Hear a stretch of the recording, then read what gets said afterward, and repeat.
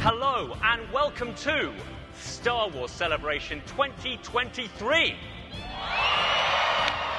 The president of Lucasfilm, the one and only Kathleen Kennedy. We are so excited to be back in London. We were here in 2016 and we have a ton of stuff to share with you guys. Joining us on stage to celebrate Andor and tell us more about the second season, we have director, creator, and showrunner Tony Gilroy.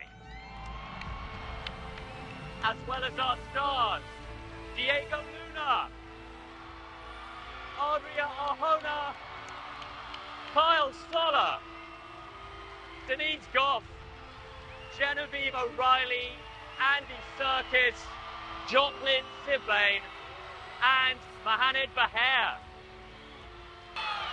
Hello, London.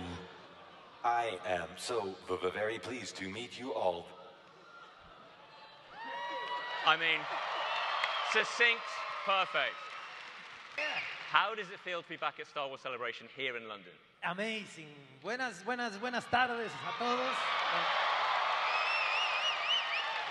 I have to say that it, it means a lot to be in London. I'm so glad Celebration is here, back in London.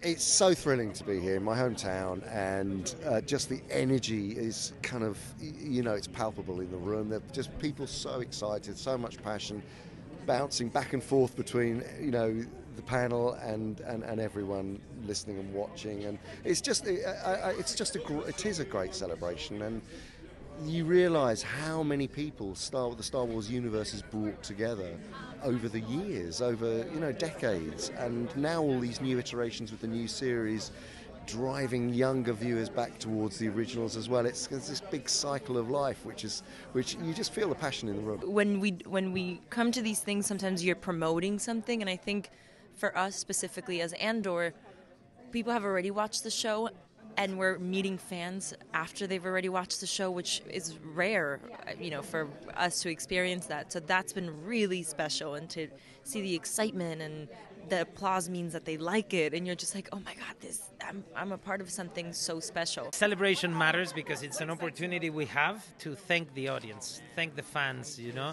This this journey has been amazing because of their support, their love, you know. Uh, it helps you. The, the, it's a long ride, you know, and since day one, I remember it's like seven years ago we were here, and uh, since day one, they're there to cheer you up, to tell you how much what you're doing matters to them, and that's that's that just happens with Star Wars, you know. And I I was really happy today to be able to to give back a little to, to these people, you know, and uh, to make sure they understand we're working really hard, and season two matters a lot to us, and we we just want to make sure they love it as much as they they did with season one. Andor season one really set up all the characters. It set up the world. It set up um, each of the characters' ideals, also their drive, and also their own personal sacrifices. And that's what we really delve into in season two. It was like being welcomed home, like in the most incredible, in, intense way. It was like a, a family festival, and um, it's been amazing to come back with the reception of Andor already being out and it being so warmly received, and and seeing firsthand still what it means to fans. I really want them to feel that we stick the landing. I mean, really, I you know, it's, uh, it's sort of graphing onto the question before, but I really want to feel like I want to feel like we honored the uh, you know there's some canonical things that happened in this five year period that we're responsible for.